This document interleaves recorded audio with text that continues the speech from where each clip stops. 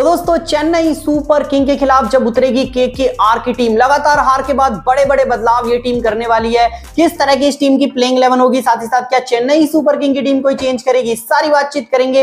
तो आप इस वीडियो को बस कर दीजिए एक लाइक और आपके हिसाब से कौन सी टीम जीत रही है ये मुकाबला, चेन्नई सुपर किंग या फिर कोलकाता नाइट राइडर्स? कमेंट कर कर हमें जो है वो ज़रूर बताएँ। दोनों ही टीमों की सिचुएशन की बात करें तो बिल्कुल विपरीत है चेन्नई सुपर किंग। छह में से चार मुकाबले जीतकर पॉइंट्स टेबल में है, नंबर तीन के पायदान पर। वहीं बात करें अगर कोलकाता नाइट राइडर्स की तो छह मुकाबले खेले हैं, सिर्फ़ दो मुकाबले जीते हैं और पॉइंट्स टेबल में ये टीम हमें नज़र आ रही है आठवें पायदान पर। केकेआर की अगर बात करें तो पिछले तीन मुकाबले बैक टू बैक ये टीम हार कर जो है वो आई है। और ऐसे में ये मुकाबला इनके लिए हम कह सकते हैं डू और डाई का मुकाबला है। अगर ये मुकाबला ये टीम हारती है तो बुरी तरीके से फंसने वाली है पॉइंट्स टेबल में। जहाँ पर दोस्तों हेड टू हेड रिकॉर्ड की अगर बात करें तो यहाँ पर भी केकेआर की टीम के लिए कुछ अच्छी खबर जो है वो नहीं है। टोटल सत्ताईस बार ये दोनों टीमें आमने सामने जो है वो हुई है, जहाँ पर नौ मुकाबले सिर्फ़ केकेआर की टीम जीती है, सत्रह मुकाबले जीती है चेन्नई सुपर किंग की टीम। पिछले दस मुकाबले अगर आप देखें तो सात मुकाबले चेन्नई जीती है, सिर्फ़ तीन मुकाबले केकेआर की टीम जीती है।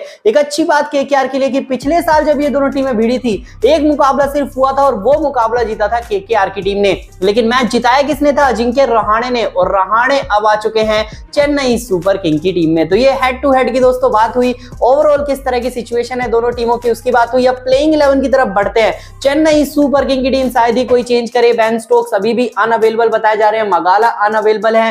दीपक चैर को लेकर डाउट्स है कि वो फिट हो पाएँगे या फिर नहीं। ऐसे में प्लेइंग इलेवन की बात करें तो डेवोन कॉनवे और ऋतुराज गायकवाड़ ओपन करते हुए हमें जो है वो नज़र आएँगे। नंबर तीन पर अजिंक्य रहाणे होंगे, चौथे नंबर पर मोइन अली, पाँचवें नंबर पर होंगे यहाँ पर शिवम दुबे, छठे नंबर पर एम एस धोनी, सातवें नंबर पर रविंदर जडेजा।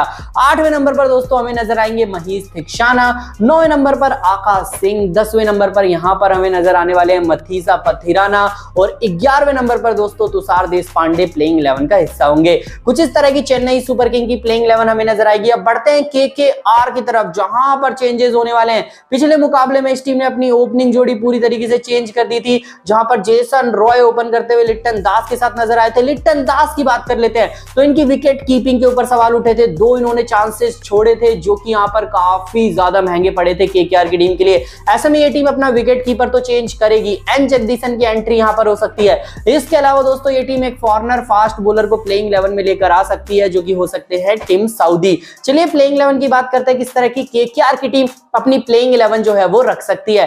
तो यहाँ पर ओपन करते हुए हमें एन जगदीशन नज़र आ सकते हैं जेसन रॉय के साथ। नंबर तीन पर वेंकटेश अय्यर होंगे, चौथे नंबर पर कप्तान नीतीश राणा, पाँचवें नंबर पर रिंकू सिंह, छठे नंबर पर आंद्रे रसल तो सातवें नंबर पर होंगे सुनील नरेन।